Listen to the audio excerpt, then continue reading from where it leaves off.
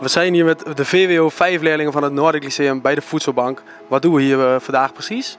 Ja, we vandaag maken, eh, leren de leerlingen kennis maken met dat er eh, ook situaties voor gezinnen anders zijn, mogelijk anders zijn dan dat hun thuis kennen.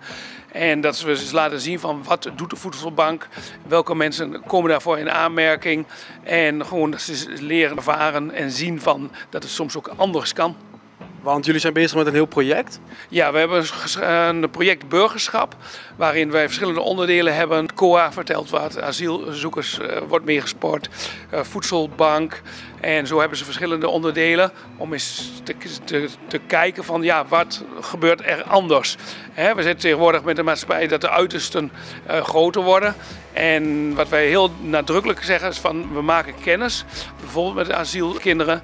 En dat, gaat er niet om dat wij een meningvorming geven, maar wel dat als er eens gesprekken plaatsvinden, dat je in staat bent om er eens wat meer nuance in te brengen over als, als we dat soort gesprekken hebben. En hetzelfde geldt voor de voedselbank. Van, uh, sommige kinderen hebben er echt nog niet eens van gehoord.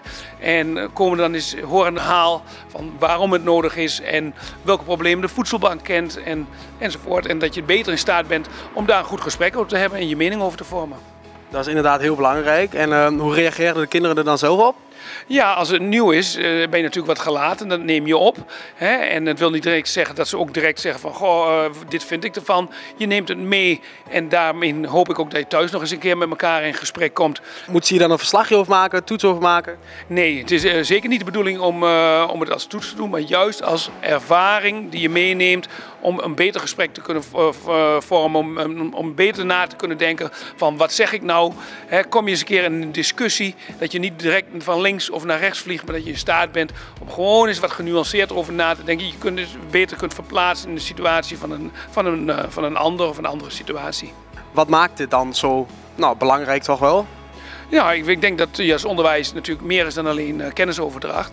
Maar dat je ook wel een maatschappelijke functie hebt. En ik denk dat daar een groot onderdeel van is.